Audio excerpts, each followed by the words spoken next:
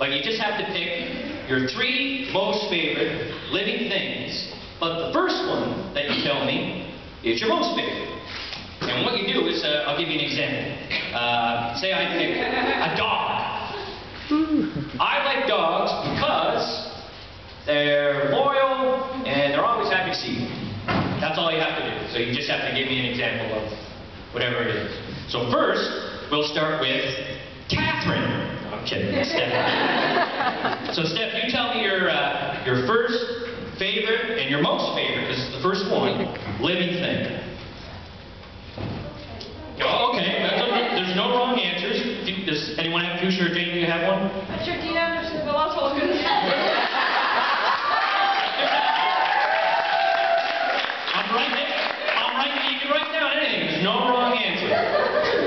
So you want me to write down? Was it turkey? What was it?